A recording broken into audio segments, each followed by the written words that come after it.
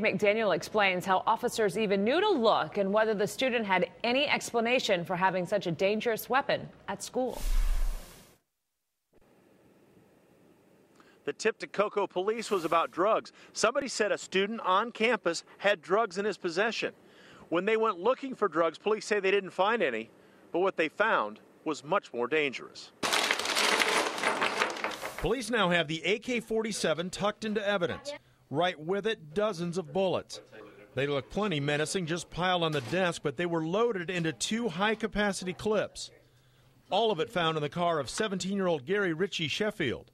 Police opened his car looking for drugs. School officials um, did search him, didn't find any drugs, but did go out to his vehicle.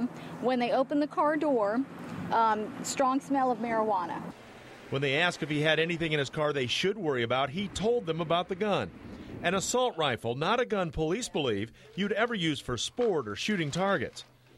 Matthew says Richie Sheffield says the gun was not his and that he wasn't worried about his own safety on campus or really threatening anyone else. There doesn't seem to be any indication that he was going to load the weapon and take it into the school, but there, it is enough that he had the school had the weapon on school property. Police initially put Cocoa High on lockdown so everything could be checked out. Richie Sheffield could face suspension or expulsion. The lockdown of the school only lasted about 45 minutes. Once the student was arrested, things got back to normal. Reporting in Cocoa, Brevard County, Dave McDaniel.